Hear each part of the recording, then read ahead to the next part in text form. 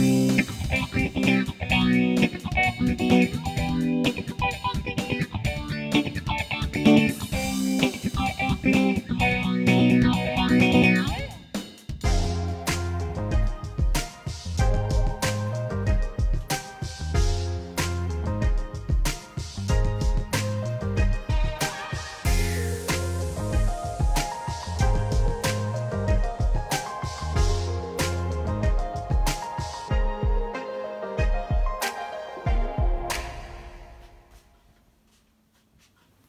Hello everyone, um, welcome back. Um, I'll be sharing to you uh, on how to get an wah sound out of your Digitech RP55 or even if you're not using this kind of pedal, there's sort of a hack to get an wah sound. Um, I've learned this before that you can use uh, phaser effects. So that's exactly what we're going to do today.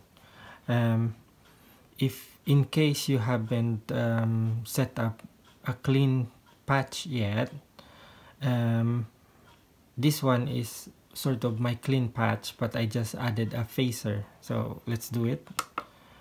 Preset level 30 pick up and wah off. Compressor off.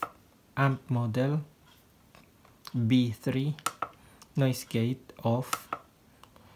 Bass 6 mid 5 treble 5 and then this is where we put the phaser. So P8 and then delay is off and then the reverb is R3 so room 3 and then in case you wanted to know about the drum pattern I used um, initially it was I think 16 that's the drum pattern and the tempo is around 42 but I changed it to 11 and the tempo is um, for a funky jazzy sound 32 anyway just find a nice drum pattern there and then you can explore with your uh, improvised uh, wah-wah.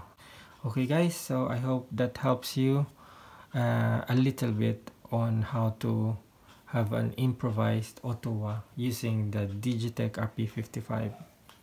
If you're new to my channel, please subscribe.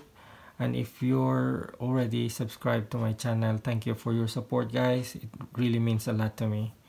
And please continue to support me, share the video, like, and see you again soon for some more videos uh, regarding this pedal Bye for now.